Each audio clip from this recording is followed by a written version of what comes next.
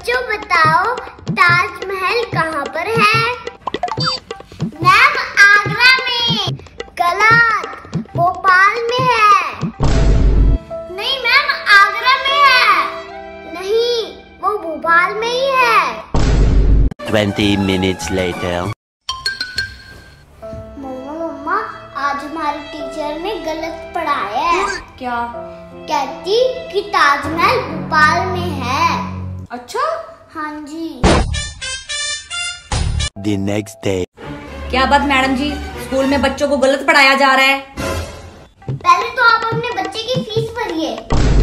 पिछले छह महीने से आपने फ़ीस नहीं भरी है। और हमारे बुलाने पर भी आप स्कूल नहीं आते थे। जब तक फ़ीस नहीं भरोगे तब तक ताजमहल भोपाल में ही रहेगा।